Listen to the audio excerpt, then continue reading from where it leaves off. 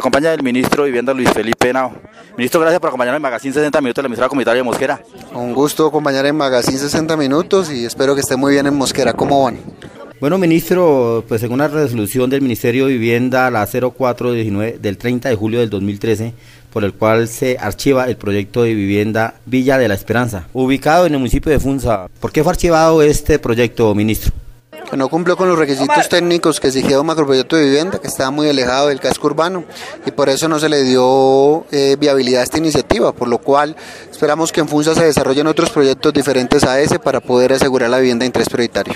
¿Qué hacemos con esa persona que sigue entregando formularios a la comunidad y engañando a la comunidad en el municipio de Funza? Lo que les puedo decir desde el ministerio, sin entrar en calificativos, es que ese proyecto no va. Ministro, su saludo para los mosquerunos, para los funzanos. Que les mando un abrazo enorme y espero estar pronto con ellos. Ministro,